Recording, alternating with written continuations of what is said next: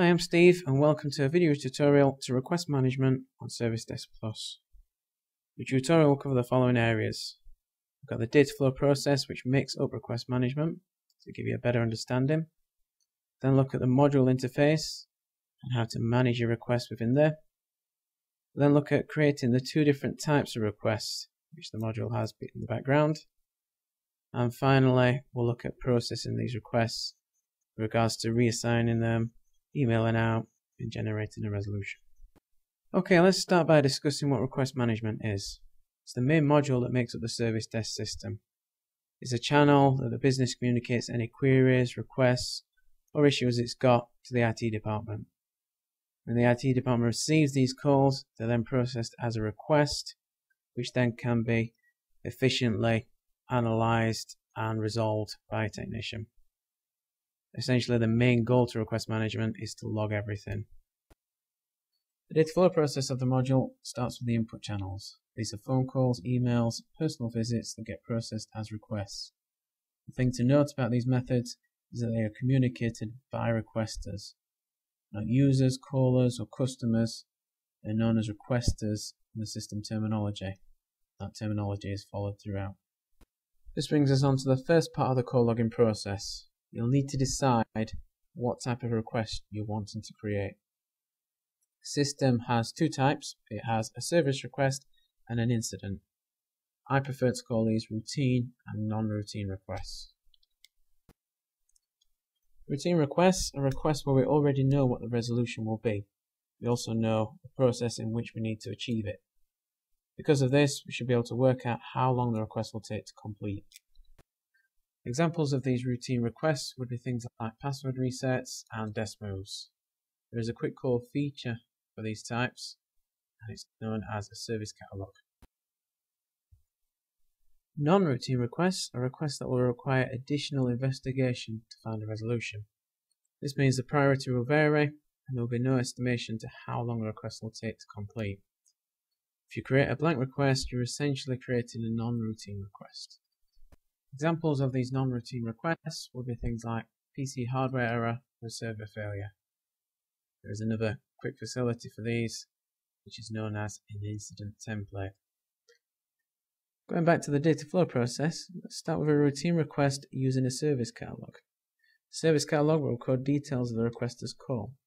Yourself or a designated technician will then process this request using guides and set tasks that have been associated to it. After that, a resolution can be created. If the request is satisfied, the request can be closed off. A non-routine request via an incident template starts with the same process. Details of the requester's call are logged and recorded into a request. However, after this process, yourself or the technician will then need to investigate the request further in order to determine the resolution. This investigation could lead to involvement with other modules such as problem or change management problem or change request may need to be created as part of the request resolution. The resolution may also need to be documented as a solution item to prevent future issues. The data flow out of the way, let's move on to some examples and see the system in action. First on the list is the request management interface and how to manage your requests. Starting at the top, we have a breadcrumb trail and a direct request search. Next to that, we have access to archive requests and a page refresh rate. Below the navigation is the interface window containing the filtered requests. The details columns to these can be removed from the right hand side option. You can also sort the columns by clicking on the headers. At the top of this interface window you have the request filter. From this you can quickly filter any displayed requests.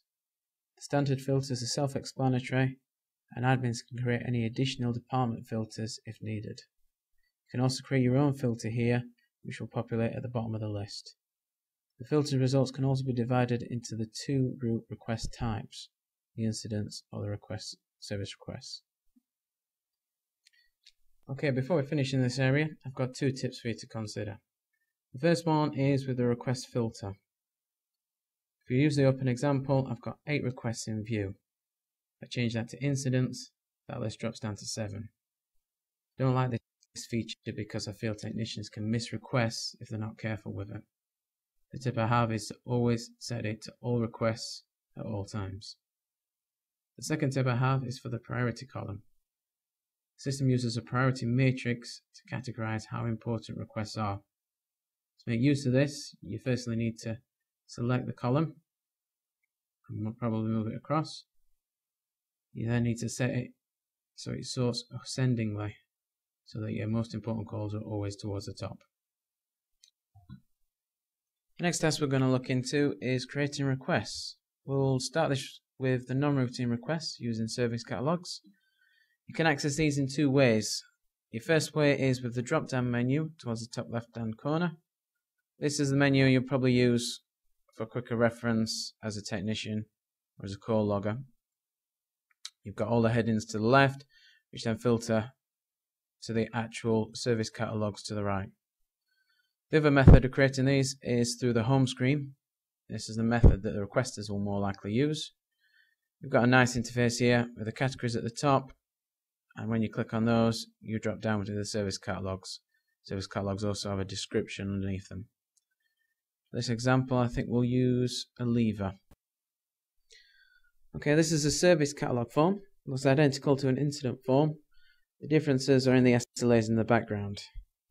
Starting with the top, these first six fields kind of define the status of the request.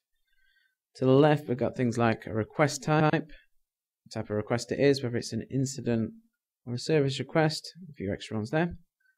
Under that, we've got the status, which you should have seen before, whether it's closed, open, with the user.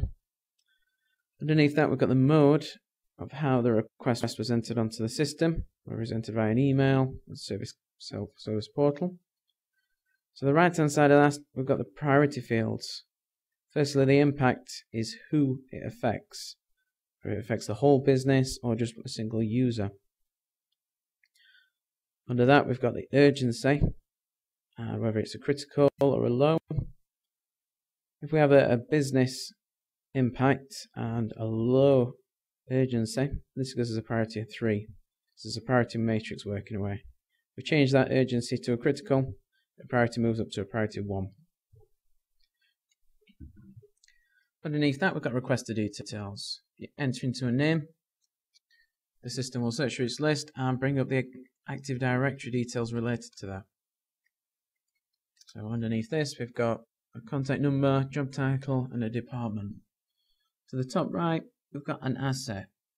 This one will also search through the assets on the system, and if it sees that this user was last logged into this asset, it will associate the two and relate them. So that's always handy to know that this requester was logged onto this PC at that time.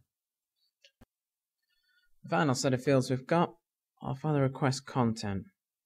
From here you enter details about who the request is assigned to. So you'll choose a group, first line, and then a technician. Go to the first line. This will notify all the first line technicians. And notify any additional technicians, enter them in there. To the right of that, you've got the categories. look at that, we've got the category headings, which you'll see in the service catalogs. Underneath that, you've got subcategories, and then you've got the items themselves, where you need to drill down to. Following on, we have a subject. Self-explanatory, you need to enter a quick subject that will always display and help you identify the requests. And then the final content is the description itself. On service catalogs and incident templates, these will be partly filled in, so you might need to enter details such as an employee name and such. Also can add links in there. Underneath their details, you have a site. We'll select KK House. Additional details you can have on service catalogs, these don't come on incident templates, will be your resource details. In this case, we've got employee system access, so all the systems that the employee had, had access to and will need to be removed. These are tick boxes. Under that, you've got yes no questions, such as Is there any IT equipment to be returned? Or is the leaver form signed and submitted? Attachments will be found on both incident templates and service catalogs, and also on a blank request.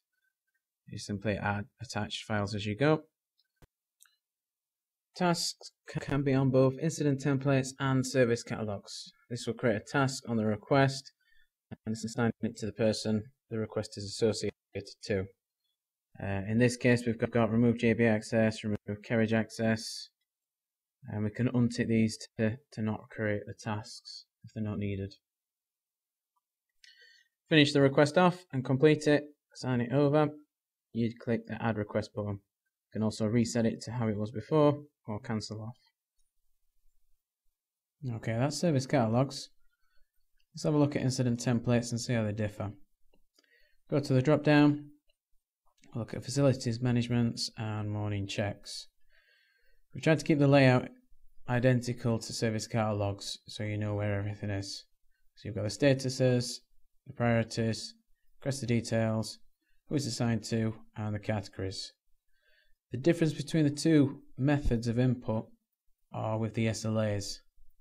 So for an incident template, the system will use its standard SLAs and what we've defined for that. In this case, it's usually by the impact, impact method. So if it affects the business, you'll have a business SLA. If it affects the user, you'll have a user SLA. For the service catalogs, each catalog has its own SLA. So if it's a password reset, there will be a password reset SLA. So a desk move, there will be a desk move SLA. Okay, as I said, everything, all the fields should be the same. There is an additional service category field the incident templates. This is just for the drop down menu, so you've got categories under there. Got the same subject, same description, no resource details, that's not available on the incident templates, but you do have tasks and the ability to untask request. And then you just add, reset, or cancel the request when you're done.